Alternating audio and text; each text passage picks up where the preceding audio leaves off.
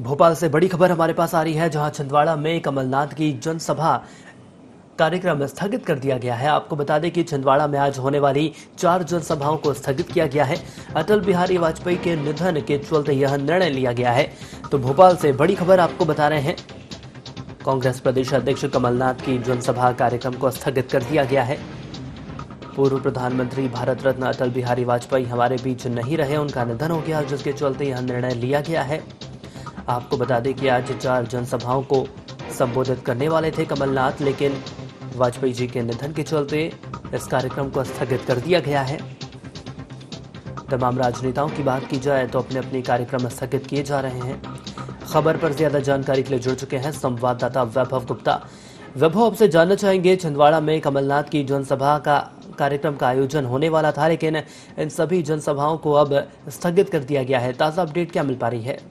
कांग्रेस प्रदेश अध्यक्ष कमलनाथ छिंदवाड़ा में चार जनसभा को संबोधित करने वाले थे लेकिन कल जैसे ही इन पर जानकारी पहुँची कि जो पूर्व पीएम अटल बिहारी वाजपेयी का निधन हो गया है तो उन्होंने अपनी सभी सभाओं को रद्द कर दिया और सीधे दिल्ली की ओर रवाना हो गए और फिर दिल्ली में वो श्रद्धांजलि देंगे पूर्व प्रधानमंत्री अटल बिहारी वाजपेयी को। उसके साथ ही इनका जो आगामी कार्यक्रम है, उसमें बदलाव किया जा रहा है कि अब किस तरह से सभाओं को संबोधित करना है और किस तरह से चुनावी रणनीति बनानी है। वैभव कुल मिलाकर कहा जा सकता है, अगर कल की हम बात करें, जब हमारे बीच अटल जी नहीं रहे, उस वक्त सीएम शिवराज सिंह चौहान ने भी अपनी जन आशीर्वाद यात्रा का कार्यक्रम रद्द कर दिया था और अब जाकर कमलनाथ ने इस कार्यक्रम को रद्द किया है। कुल मिलाकर कहा जा सकता है, एक राजनीतिक युग का यहाँ पर अंत हो गया अटल जी के रूप में।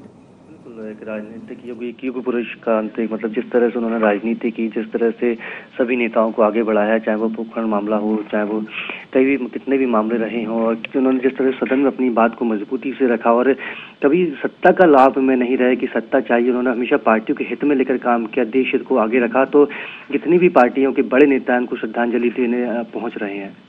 जानना चाहेंगे जो कार्यक्रम अब स्थगित किए गए हैं, क्या भविष्य के लिए जो रूपरेखा तैयार की गई है वो सामने आई है अभी तक? अभी कोई रूपरेखा सामने नहीं आई है। अभी जो कमलनाथ है, पीसीसी चीफ साथी ज्योतिरादित्य सिंधिया दिल्ली जाएँगे। दिल्ली में अटल बिहारी वाजपेयी को श्रद्धांजलि देंगे। उसका जब वो वापस आएँगे, तभी इनका भी कार्यक्रम है जो फाइनल किया जाएगा, क्योंकि दोनों ही लगातार चुनावी दौरे कर रहे थे, जनता को संबोधित कर रहे थे और जो बीजेपी की जो योजनाएँ हैं, जिसके चलते जनता परेशान हो रही है, उसके बारे में जनता को बताने के लिए मैदानी, मैदान में उतरे हुए थे। लेकिन अब उनके कार्यक्रमों में थोड़ा सा बदलाव किया गया है, जिसकी जानकारी कल सामने आ पाएगी। चलिए, जानकारी देने के लिए वैभव, आपका धन्यवाद। तो बड़ी खबर आपको बता रहे हैं। छिंदवाड़ा में कमलनाथ की जनसभा कार्यक्रम को स्थगित कर दिया गया है। आपको बता दें कि आज चार जनसभाओं को संबोधित किया जाना था, लेकिन अटल जी के निधन के चलते इन जनसभाओं को स्थगित कर दिया गया है।